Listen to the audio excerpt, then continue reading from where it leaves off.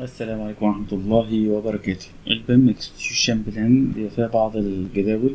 فده ملف Excel إحنا عاملينه عشان نسهل على نفسنا الشغل. بنتكلم فيه على المشروع هيبقى عامل إزاي ال project information بنكتب اسم المشروع بنكتب رقمه بنكتب ال location الرقم ممكن يختلف ال client يكون له رقم غير الاستشاري غير المقاولات. وبعد كده بنكتب بقى ال schedule يعني في مرحلة كذا إيه اللي هيسلم وهيسلم في تاريخ إيه. ممكن يكون التسليم على أكتر من مرحلة مرحلة.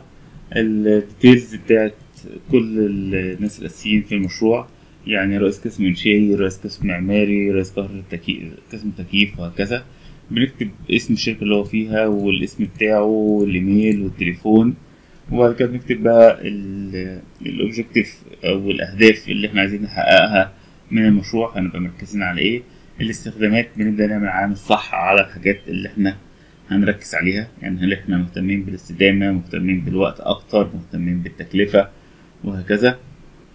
بعد كده level of detail التسليمات هتبقى عاملة أني level of detail ده بالشكل اللي هو البريطاني في LOD بقى مية ومتين وتلتمية وهكذا. طيب هنا بقى ال level of model تبدأ بقى تكتب الحاجة دي هتتسلم أني level ومين اللي هيعمل الموديل دوت. طيب ال 4D 5D كل الحاجات دي بنبدأ نكتب اسم الشركة اللي هتعمل الحاجة ديت. ال details بتاع المشروع هيبقى مسلم إزاي. لكل الأقسام.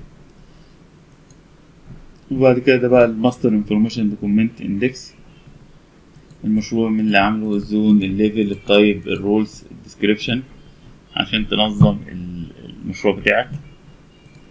ال stages دي الاختيارات بقى اللي انت هتعملها.